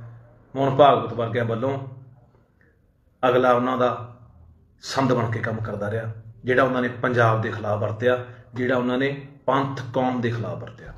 ਹੁਣ ਤੁਸੀਂ ਮੈਨੂੰ ਚੰਗਾ ਕਹੋ, ਤੁਸੀਂ ਮਾੜਾ ਕਹੋ, ਤੁਸੀਂ ਗਲਾਂ ਕੱਢੋ ਤੇ ਮੈਨੂੰ ਇਸ ਗੱਲ ਨਾਲ ਕੋਈ ਲੈਣਾ ਦੇਣਾ ਨਹੀਂ, ਕੋਈ ਫ਼ਰਕ ਨਹੀਂ ਪੈਂਦਾ। ਪਰ ਜੋ ਗੱਲ ਸਚਾਈ ਹੈ, ਉਹ ਅਸੀਂ ਬੋਲਾਂਗੇ, ਉਹ ਬੋਲਦੇ ਰਹਿਣਾ। ਜਿੰਨਾ ਚਿਰ ਘੰਡੀ ਸਾਹ ਸਾਡੇ ਕੋਲੋਂ ਕੇਰੀਆਂ ਚਾਪਲੂਸੀ ਨਹੀਂ ਹੁੰਦੀ। ਨਾ ਸਾਡੇ ਕੋਲ ਕਿਸੇ ਦੇ ਪੈਰੀਂ ਹੱਥ ਲੱਗਣ। ਨਾ ਕਿਸੇ ਦਾ ਇਸ ਤੋਂ ਵੀ ਆਹ ਗੱਲਾਂ ਲੇਪਾ ਪੋਚੀ ਜੀ ਕਰ ਦਿਓ। ਬਥੇਰੇ ਮੇਰੇ ਸੱਜਣ, ਮੈਨੂੰ ਫੋਨ ਕਰਕੇ ਬਾਈ ਤੈਨੂੰ ਬੈਠਣ ਜਾਣਾ ਚਾਹੀਦਾ। ਸੰਸਕਾਰ ਤੇ ਜਾ ਜਾ ਬਾਈ, ਬੈਠ ਕੇ ਆਈਏ ਬਾਈ, ਭੋਗ ਤੇ ਆ ਜਾ ਬਾਈ। ਹੁਣ ਕਹਿਣਗੇ ਤੇਰੇ ਨਾਲ ਤੇਰੇ ਨਾਲ ਕੀ ਫ਼ਰਕ ਪਏਗਾ? ਮੈਂ ਨਹੀਂ ਕਹਿੰਦਾ ਮੇਰੇ ਜਾਣ ਜਾਂ ਨਾ ਜਾਣ ਨਾਲ ਕੋਈ ਫ਼ਰਕ ਪਿਆ। ਨਾ ਹੀ ਪੈਂਦਾ ਹੁੰਦਾ। ਪਰ ਵੱਡੀ ਰੂਹ ਨਹੀਂ ਕਰਦੀ ਬਾਈ। ਆਪਾਂ ਕਹਿੰਦੇ ਨਾ ਨਾ, ਜਿਉਂਦਿਆਂ ਜੀ ਤੋਂ ਕਈ ਵਾਰੀ ਆਪਾਂ ਲੜਦੇ, ਕੋਈ ਮਿਹਣਾ ਮਾਰਦੇ ਆਪਾਂ ਇੱਕ ਗੱਲ ਕਹਿੰਦੇ ਹੁੰਨੇ ਆ ਕਿ ਮੈਂ ਤੇਰੀ ਮਰੇ ਦੀ ਕਾਣ ਨਹੀਂ ਆਉਂਦਾ। ਜਾਣਾ ਵੀ ਨਹੀਂ ਚਾਹੀਦਾ।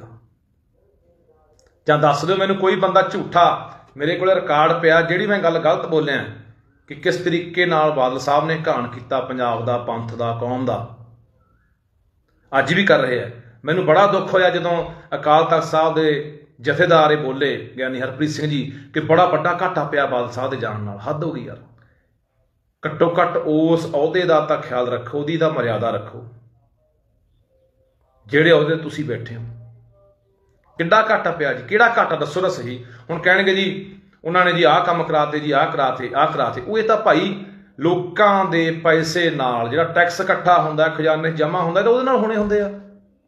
ਹੁਣ ਜਾਂ ਤਾਂ ਮੈਨੂੰ ਦੱਸ ਦਿਓ ਜੀ, ਭਾਈ ਬਾਦਲ ਸਾਹਿਬ ਨੇ ਕੋਈ ਆਪਣੀ ਨਿੱਜੀ ਜਾਇਦਾਦ ਵੇਚ ਕੇ ਪੰਜਾਬ ਤੇ ਲਾਤੀ। ਇਹਨਾਂ ਦਾ ਬਣਾਈ ਹੈ। ਇਹਨਾਂ ਦੀਆਂ ਪੰਜ ਬੱਸਾਂ ਤੋਂ 500 ਬੱਸ ਬਣ ਗਈ, ਹੋਟਲ ਬਣ ਗਏ, ਵੱਡੇ ਵੱਡੇ ਫਾਰਮ ਬਣ ਗਏ, ਪੰਪ ਲੱਗ ਗਏ ਬਾਹਰਲੇ ਮੁਲਕਾਂ 'ਚ। ਪਤਾ ਨਹੀਂ ਕੀ ਕੁਝ ਕਮਾ ਲਿਆ। ਉਹ ਕਿੱਥੋਂ ਆਇਆ ਪੈਸਾ? ਪੰਜਾਬ ਦੇ ਲੋਕਾਂ ਦਾ ਪੈਸਾ ਹੈ। ਖਜ਼ਾਨੇ ਦਾ ਪੈਸਾ, ਸਾਡੇ ਲੋਕਾਂ ਦਾ ਪੈਸਾ ਹੁਣ ਇਹਦਾ ਜਿਹੜਾ ਮੁੱਖ ਮੰਤਰੀ ਬਣਦਾ ਹੈ ਤਾਂ ਉਹਦੇ ਇਹਦਾ ਕੰਮ ਨੇ ਯਾਰ। ਫਿਰ ਉਹ ਬਣਦਾ ਕਾਦੀ ਖਾਤਰ ਆ? ਉਹਨਾਂ ਨੇ ਕਰਨਾ ਹੀ ਹੁੰਦਾ, ਕੋਈ ਸੜਕ ਬਣਾਤੀ, ਹੁਣ ਕਹਿਣਗੇ ਬਥੇਰੇ ਦਲੀਲਾਂ ਦੇਣਗੇ। ਬਾਲ ਸਾਹਿਬ ਨੇ ਆਹ ਕੰਮ ਕਰਤਾ, ਆਹ ਕਰਤਾ। ਇਹਦਾ ਬੰਤੇ ਬੁੱਚੜ ਨੇ ਵੀ ਕੰਮ ਕੀਤੇ ਹੋਣੇ ਆ। ਉਹਨੂੰ ਵੀ ਮਾਫ ਕਰੋ। ਉਹਨੂੰ ਕੋ ਬੱਚੜ ਕਹਿੰਦੇ ਆਪਾਂ ਫਿਰ? ਫਰੀਦਰਾ ਨੇ ਵੀ ਪੰਜਾਬ ਲਈ ਬਹੁਤ ਸੜਕਾਂ, ਬਹੁਤ ਪੁਲ ਤੇ ਬਹੁਤ ਕੰਮ ਕਰਤੇ ਹੋਣੇ ਆ। ਇਹ ਕੰਮ ਨਹੀਂ ਹੁੰਦੇ। ਕੰਮ ਹੁੰਦੇ ਆ ਕਿਸੇ ਸਟੇਟ ਦੇ ਮੁਖੀ ਦੇ, ਕਿਸੇ ਆਗੂ ਦੇ ਕੰਮ। ਉਹ ਆਪਣੇ ਸੂਬੇ ਦੇ ਕੁਦਰਤੀ ਵਸੀਲਿਆਂ ਲਈ, ਆਪਣੇ ਹੱਕਾਂ ਲਈ ਕਿਵੇਂ ਲੜਦਾ? ਅੱਜ ਸਿੱਖੋ ਸਟਾਲਣ ਤੋਂ, ਅੱਜ ਸਿੱਖੋ ਮਾਇਆਵਤੀ ਤੋਂ, ਆ ਮਮਤਾ ਬਨਰਜੀ ਤੋਂ। ਮਾਇਆਵਤੀ ਨਹੀਂ, ਮਮਤਾ ਬਨਰਜੀ ਤੋਂ। ਆ ਸਿੱਖੋ ਹੋਰ ਕੋਈ ਸੂਬਿਆਂ ਦੇ ਮੁੱਖ ਮੰਤਰੀ ਨੇ ਜਿਹੜੇ ਆਪਣੇ ਸੂਬਿਆਂ ਦੇ ਹੱਕਾਂ ਲਈ ਲੜ ਰਹੇ ਆ ਸੈਂਟਰ ਦੇ ਨਾਲ। ਇਹ ਤਾਂ ਸਾਰਾ ਵਿਸ਼ੀ ਗਏ ਸੀ। ਤੁਸੀਂ ਜੋ ਮਰਜ਼ੀ ਕਰੋ ਪੰਜਾਬ ਨਾਲ, ਸਾਨੂੰ ਕੋਈ ਲੱਗਾ ਦੇ ਕਰੀ 328 ਸਰੂਪ ਗਾਇਬ ਹੁੰਦੇ ਆ, ਸ਼੍ਰੋਮਣੀ ਕਮੇਟੀ ਅੱਜ ਤੱਕ ਹਿਸਾਬ ਨਹੀਂ ਦੇ ਸਕੀ। ਕਿੱਥੇ ਗਏ? ਉਹ ਨਾਗਪੁਰ ਹੀ ਗਏ ਹੋਣੇ ਆ।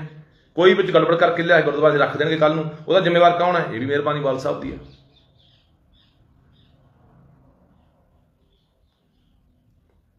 ਸੋ ਪੰਜਾਬ ਦੇ ਲੋਕੋ, ਤੁਹਾਨੂੰ ਇੱਕੋ ਹੀ ਗੱਲ ਕਹਿਣਾ। ਕਿ ਜਿਹੜੀਆਂ ਕੌਮਾਂ ਜਿਹੜੀਆਂ ਕੌਮਾਂ ਬੇਗੈਰਤ ਹੋ ਜਾਣ, ਜਿਹੜੀਆਂ ਕੌਮਾਂ ਭਲੱਕੜ ਹੋ ਜਾਣ ਜਿਹੜੀਆਂ ਕੌਮਾਂ ਛੇਤੀ ਭੁੱਲ ਜਾਣ ਆਪਣੇ ਤੇ ਹੋਏ ਜ਼ੁਲਮਾਂ ਨੂੰ, ਉਹ ਕੌਮਾਂ ਖਤਮ ਹੋ ਜਾਂਦੀਆਂ ਦੁਨੀਆ ਦੇ ਵਿੱਚ ਇਤਿਹਾਸ ਗਵਾਹ ਦੁਨੀਆ ਦੇ ਵਿੱਚ ਜਿਹੜੀਆਂ ਕੌਮਾਂ ਤੇ ਜ਼ੁਲਮ ਹੋਏ ਨੇ, ਹਜ਼ਾਰਾਂ ਹਜ਼ਾਰਾਂ ਸਾਲ ਉਹ ਕੌਮਾਂ ਯਾਦ ਰੱਖਦੀਆਂ ਨੇ। ਅੱਜ ਵੀ ਅਸੀਂ 6 ਜੂਨ ਆਉਣੀ ਹੈ ਨਾ 6 ਜੂਨ ਨੂੰ ਅਸੀਂ ਲੈਵਾਂ ਨੈਵਰ ਫਾਰਗਟ 84 ਅਸੀਂ ਕਦੇ ਨਹੀਂ ਭੁੱਲਾਂਗੇ 84 ਨੂੰ, ਆਪਾਂ ਲਿਖਦੇ ਆ ਨਾ। ਇਹ ਕਿਵੇਂ ਭੁੱਲ ਜਾਓਗੇ ਜੋ ਬਾਲ ਸਾਹਿਬ ਨੇ ਕੀਤਾ ਜੀ? ਕਿਵੇਂ ਕਿਉਂ ਦੱਸੋ ਕਿਵੇਂ, ਕਿਹੜੇ ਗੁਨਾਹਾਂ ਦੀ ਮਾਫੀ ਮੰਗਦੇ ਆ, ਦੱਸੇ। ਆਉਣ ਬਾਦਲ ਸਾਹਿਬ ਤਖ਼ਤ ਤੇ ਪੇਸ਼ ਹੋਣ ਆ ਕੇ ਦੱਸਣਗੇ ਸਾਡੇ ਕੋਲ ਆਹ ਕੁਛ ਹੈ ਜੀ।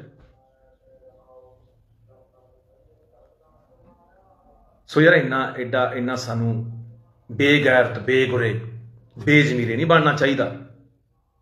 ਹੱਦਾਂ ਮੈਂ ਲੋਕਾਂ ਦੇ ਹੈਰਾਨ ਆ, ਕਿਵੇਂ ਲੋਕਾਂ ਨੇ ਇੱਥੇ ਪੋਸਟਾਂ ਪਾਈ ਗਏ, ਕਿਵੇਂ ਵਾਹਿਗੁਰੂ ਵਾਹਿਗੁਰੂ ਵਾਹਿਗੁਰੂ, ਬੜਾ ਮਾੜਾ ਹੋਇਆ, ਬੜਾ ਮਾੜਾ ਹੋਇਆ, ਕਮਾਲ ਕਰਤੀ ਲੋਕਾਂ ਨੇ ਯਾਰ। ਤੇ ਆਇਆ ਨੂੰ ਬੜਾ ਵੱਡਾ ਮਹਾਨ ਦਰਵੇਸ਼, ਬਹੁਤ ਵੱਡਾ ਜਿਵੇਂ ਆਗੂ ਚਲਿਆ ਗਿਆ ਹੋਵੇ, ਐ ਬਣਾ ਕੇ ਪੇਸ਼ ਕੀਤਾ। ਕਿੰਨੇ ਗੁਨਾਹ ਬਣਾਵਾ ਨਗੋਦਰ ਗੋਲੀ ਕਾਂਡ ਹੋਇਆ ਸੀ। ਉਹਨੇ ਜਿਹੜਾ ਮੁੱਖ ਦੋਸ਼ੀ ਸੀ, ਉਹਨੂੰ ਫਤਿਹਗੜ੍ਹ ਸਾਹਿਬ ਤੋਂ ਲੋਕ ਸਭਾ ਦੀ ਟਿਕਟ ਵੀ ਬਾਲ ਸਾਹਿਬ ਦੀ ਮਿਹਰਬਾਨੀ ਦਿੱਤੀ ਸੀ। ਇਹਨਾਂ ਦੀ ਮਿਹਰਬਾਨੀ ਹੋਈ ਸੀ।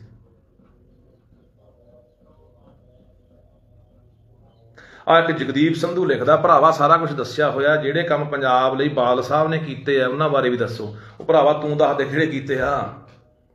ਮਹਾਰਾਜ ਦੱਸ ਹੀ ਰਿਹਾ ਕਿਹੜੇ ਕੀਤੇ ਆ? ਮੈਂ ਤੁਹਾਨੂੰ ਦੱਸਣਾ ਇਹਦਾ ਇੱਕ ਮੁੱਖ ਮੰਤਰੀ ਦਾ, ਇੱਕ ਸਟੇਟ ਦਾ ਕੰਮ ਹੁੰਦਾ ਹੈ। ਸੜਕਾਂ ਬਣਾਉਣੀਆਂ, ਕੋਈ ਪੁਲ ਬਣਾਉਣੇ, ਕੋਈ ਯਾਦਗਾਰ ਬਣਾਉਣੀ, ਇਹ ਤਾਂ ਕੰਮ ਹੁੰਦੇ ਨੇ, ਇਹ ਤਾਂ ਕਰਨੇ ਹੁੰਦੇ ਨੇ। ਉਹ ਭੋਲੇ ਲੋਕੋ ਸਾਨੂੰ ਹਾਲੇ ਵੀ ਸਮਝ ਨਹੀਂ ਆਉਂਦੀ, ਉਹ ਕਿਵੇਂ ਉਹ ਜੜੀਆਂ ਜੜਾਂ 'ਚ ਪਾ ਕੇ ਗਿਆ ਕਿਵੇਂ ਕਿੱਡਾ ਵੱਡਾ ਨੁਕਸਾਨ ਜਿਹੜਾ ਸਾਨੂੰ ਪੂਰੇ ਹੀ ਨਹੀਂ ਜਾਣਾ। ਐਵੇਂ ਥੋੜੀ ਅਗਲੇ ਆ ਕੇ ਉੱਥੇ ਭੋਗਾਂ ਤੇ ਬੋਲਦੇ ਆ ਵੀ ਬੜਾ ਰਾਸ਼ਟਰਵਾਦੀ ਸੀ, ਬੜਾ ਐਂ ਸੀ, ਬੜਾ ਉਹ ਸੀ।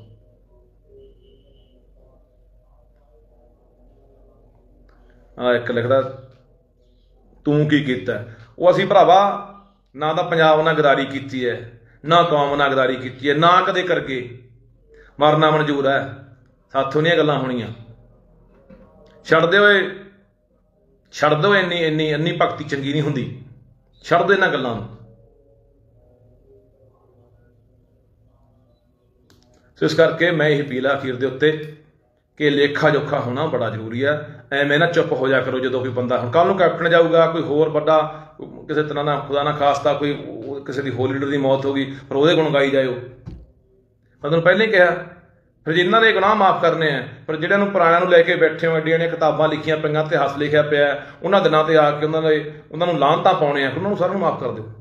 ਫਿਰ ਇੰਦਰਾਂ ਨੂੰ ਵੀ ਮਾਫੀ ਚਾਹੀਦੀ ਹੈ ਵਾਇਦਾ ਹੀ ਦੇ ਹੀ ਦਿੰਨੇ ਆ, ਸਾਡੇ ਸਾਡੇ ਤੋਂ ਪਹਿਲੇ ਦੱਸਤਾ ਤੁਹਾਨੂੰ ਕਿ ਸਾਡੇ ਕੋਲ ਐਡੀ ਕੋਈ ਲੰਮੀ ਸੋਚ ਅੱਜ ਤਾਂ ਹੈ ਨਹੀਂ, ਨਾ ਸਾਡੇ ਅੰਦਰ ਕਿਹੜਾ ਦਰਦ ਦੁਰਦ ਹੈਗਾ। ਇਹ ਅਸੀਂ ਕੀ ਕੀਤਾ? 95 ਤੱਕ ਸਾਡੇ ਮੁਕਾਬਲੇ ਬਣਾ ਬਣਾ ਮਾਰੀ ਗਏ ਆ। 2002 ਦੇ ਵਿੱਚ ਅਸੀਂ ਕਾਂਗਰਸ ਲਿਆਏ ਸੀਗੇ। 7 ਸਾਲ ਬਾਅਦ 7 ਸਾਲ ਬਾਅਦ ਕਾਂਗਰਸ ਸਰਕਾਰ ਲਿਆਂਦੀ ਸੀ। ਦੋ ਵਾਰੀ ਲਿਆਂਦੀ, ਉਦੋਂ ਬਾਅਦ। ਇੱਕ ਪਾਸੇ ਅਸੀਂ ਕਹਿੰਦੇ ਸਾਡੇ ਤੇ ਹਮਲੇ ਕੀਤੇ, ਦਰਬਾਰ ਸਾਹਿਬ ਢਾਤੇ ਕਾਲ ਤਖਤ ਢਾਤੇ ਸਾਨੂੰ ਮਾਰਤਾ। ਇਸ ਕਰਕੇ ਇਹ ਲੇਖਾ ਜੋਖਾ ਹੋਣਾ ਬੜਾ ਜ਼ਰੂਰੀ ਸੀ। ਪਰ ਸਾਡੀ ਦੁਨੀਆ ਦਾ ਕੰਮ ਇੱਕ ਹੋਰ ਆ, ਸਾਡੇ ਲੋਕਾਂ ਦਾ। ਜਿੱਧਰ ਨੂੰ ਵਹਿਣ ਜਾਂ ਵਹਿੰਦਾ ਜਿੱਧਰ ਨੂੰ ਲੋਕਾਂ ਦਾ ਵੇਗ ਜਾਂ ਹੁੰਦਾ, ਉਧਰ ਨੂੰ ਹੀ ਤੁਰਦੇ ਆ। ਠੀਕ ਹੈ ਜੀ। ਸੋ ਆਪਣਾ ਜਿਗਰਾ ਰੱਖ ਕੇ, ਆਪਣਾ ਦਮ ਰੱਖ ਕੇ, ਆਪਣੀ ਦਲੀਲ, ਆਪਣੀ ਗੱਲ ਰੱਖਿਆ ਕਰੋ। ਸੋ ਮੈਂ ਇਹੀ ਕਹਿਣਾ ਚਾਹੁੰਦਾ ਸਿਵਰ ਸਿੰਘ ਬਾਦਲ ਨੂੰ ਕਿ ਬਾਦਲ ਸਾਹਿਬ, ਜੇ ਤੁਹਾਨੂੰ ਲੱਗਦਾ ਕਿ ਇਹ ਗੁਨਾਹ ਨੇ, ਇਹਨਾਂ ਗੁਨਾਹਾਂ ਦੀ ਮਾਫੀ ਉਹ ਸੰਗਤ ਨੇ ਦੇਣੀ ਆ, ਉਹ ਪੰਥ ਨੇ ਦੇਣੀ ਆ ਕੌਮ ਨੇ ਦੇਣੀ ਆ ਆ ਕੇ ਤਖਤ ਸਾਹਿਬ ਦੇ ਉੱਤੇ ਆ ਸਾਰੇ ਗੁਨਾਹ ਜਿਹੜੇ ਔਨ ਰਿਕਾਰਡ ਪਏ ਨੇ, ਇਹਨਾਂ ਬਾਰੇ ਵੀ ਲੋਕਾਂ ਨੂੰ ਦੱਸ ਦਿਓ। ਤੁਸੀਂ ਹੁਣ ਆਪਣੇ ਆਪ ਨੂੰ ਦੁਬਾਰੇ ਪੰਥਕ ਸਫਾਂ ਦੇ ਵਿੱਚ ਸੈੱਟ ਕਰਨਾ ਚਾਹੁੰਦੇ ਹੋ, ਤੁਹਾਨੂੰ ਲੱਗਦਾ ਕਿ ਸਾਨੂੰ ਫੇਰ ਦੁਬਾਰਾ ਲੋਕ ਮੌਕਾ ਦੇਣਗੇ? ਸਿਰਫ ਇਹ ਜਿਹੜੀਆਂ ਤੁਹਾਡੀਆਂ ਗੱਲਾਂ ਹੋ ਰਹੀਆਂ, ਇਹ ਸਿਰਫ ਤੁਸੀਂ ਪੰਜਾਬ ਦੇ ਉੱਤੇ ਫੇਰ ਦੁਬਾਰਾ ਕਬਜ਼ਾ ਕਰਕੇ ਉਹਨੂੰ ਮਾਰਨ ਲਈ ਲੁੱਟਣ ਦੀ ਤਿਆਰੀ ਕਰ ਰਹੇ ਹੋ। ਹੋਰ ਤੁਹਾਡੇ ਦਿਲਾਂ ਦੇ ਅੰਦਰ ਕੋਈ ਪਛਤਾਵਾ ਨਹੀਂ, ਕੋਈ ਦੁੱਖ ਨਹੀਂ ਕਿ ਯਾਰ ਮੇਰੇ ਬਾਪੂ ਨੇ, ਮੇਰੇ ਪਿਓ ਨੇ ਜਾਂ ਬਾਦਲ ਨੇ ਜਾਂ ਬਾਦਲ ਪਾਰਟੀ ਨੇ ਪੰਜਾਬ ਨਾਲ ਕੀ ਕੀਤਾ, ਪੰਥ ਨਾਲ ਕੀ ਕੀਤਾ, ਕੌਮ ਨਾਲ ਕੀ ਕੀਤਾ। ਕੋਈ ਹੱਕ ਮੈਨੂੰ ਦੱਸ ਦਿਓ ਹੁਣ ਤੱਕ ਕਿ ਬਾਦਲ ਨੇ ਪੰਜਾਬ ਦੇ ਹੱਕਾਂ ਦੀ ਖਾਤਰ ਹਿੱਕ ਢਾ ਕੇ ਕਿਤੇ ਅੱਖ 'ਚ ਅੱਖ ਪਾ ਕੇ ਸੈਂਟਰ ਦੇ ਦਿੱਲੀ ਦੇ ਗੱਲ ਕੀਤੀ ਹੋਵੇ ਵੀ ਆਹ ਹੱਕ ਆ ਪੰਜਾਬ ਦਾ, ਇੱਥੇ ਰੱਖੋ, ਦੱਸ ਦਿਓ। ਤਾਂ ਮੈਂ ਵੀ ਮੰਨ ਜਾਵਾਂ ਭਾਈ ਬਾਲ ਸਾਹਿਬ ਨੇ ਤਾਂ ਬਹੁਤ ਬਹੁਤ ਹੁਣ ਐਵੇਂ ਉਹਨਾਂ ਦੇ ਐਨਐਸਏ ਲੱਗ ਗਈ ਜੀ, ਉਹਨਾਂ ਨੇ ਇੰਨੇ ਸਾਲ ਜੇਲ੍ਹ ਕੱਟੀ ਜੀ ਇੰਨੇ ਸਾਲ ਜੇਲ੍ਹ ਕੱਟੀ ਜੀ। ਹੁਣ ਇਹ ਇਹ ਚਲਾਈ ਜਾਂਦੇ ਆ। ਉਹਦੇ ਉਹਦੇ ਮਰੇ ਹੋਏ ਤੋਂ ਬਾਅਦ ਉਹਦੇ ਉੱਤੇ ਸਿਆਸਤ ਕਿਵੇਂ ਖੜੀ ਕਰਨੀ ਹੈ? ਆਪਣੇ ਪੈਰ ਕਿਵੇਂ ਜਮਾਉਣੇ ਆ ਪੰਜਾਬ ਦੇ ਉੱਤੇ? ਇਹ ਸਾਰਾ ਬਾਦਲ ਲਾਣੇ ਦਾ ਜ਼ੋਰ ਲੱਗਿਆ ਹੋਇਆ। ਹੈ ਤੇ ਸਾਡੇ ਲੋਕ ਉਹੇ ਜਿਹੇ ਨੇ ਠੀਕ ਆ ਜੀ, ਕੋਈ ਗੱਲ ਨਹੀਂ। ਬਾਲ ਸਾਹਿਬ ਦੀਆਂ ਇੱਕ ਦੋ ਗੱਲਾਂ ਨੇ, ਉਹ ਮੈਂ ਦੱਸ ਦਿੰਦਾ ਜਾਂ ਪੁੱਛਦਾ ਸੱਜਣਾ। ਲਿਆਕਤ ਸੀਗੀ ਭਾਈ, ਕਿਸੇ ਨੂੰ ਮੂੰਹ ਤੇ ਤਾਂ ਬੁਰਾ ਭਲਾ ਕਹਿੰਦੀ ਨਹੀਂ ਸੀ, ਖਿੱਚ ਕੇ ਤਾਂ ਪੈਂਦੀ ਨਹੀਂ ਸੀ। ਬਸ ਐ ਪੋਲੇ ਜਿਹਾ ਗੱਲ ਨਾਲ ਲਾ ਲੈਂਦੇ ਸੀ, ਐ ਹੌਲੀ ਹੌਲੀ ਐ ਜੱਫੀ ਪਾ ਕੇ ਹੌਲੀ ਹੌਲੀ ਐ ਪਹਿਲਾਂ ਗੱਲ ਮੈਂ ਤੁਹਾਨੂੰ ਦੱਸੀ ਐ ਮੈਂ ਸਰਾਲ ਘੁੱਟ ਕੇ ਮਾਰਦੀ ਐ, ਐਂ ਨਾਲ ਲਾ ਕੇ ਮਾਰ ਦਿੰਦੇ ਸੀ।